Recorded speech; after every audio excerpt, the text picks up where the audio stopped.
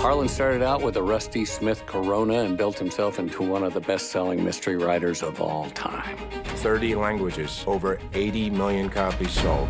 You guys fans? I mean, I don't do much fiction reading myself. Big fan. I'm a big fan. Who is that guy? Uh, Mr. Blanc is a private investigator of great renown. I read a tweet about a New Yorker article about you. You're famous.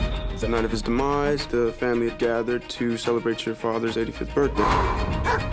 And your son, Ransom, did he attend as well? Yes, but he left early. I think Linda was upset.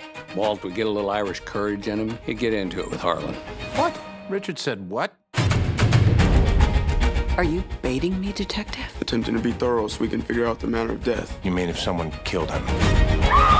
You think one of us, one of his family, Walt, Walt. killed him? Mr. Blanc, I just buried my father who committed suicide. Why are you here? I suspect foul play. I have eliminated no suspects. Harlan was cleaning house. Everyone in the family has possible motives. Was Harlan planning on cutting off Joni? Did he plan to fire Walter? Is Richard having an affair?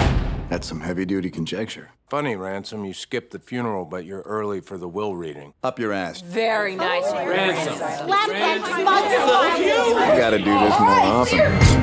The family is truly desperate. When people get desperate, the knives come out. This is a twisted web. And we are not finished untangling it. Not yet. I keep waiting for the big reveal. All of them lied to me. There is one guilty party behind it all. You know something.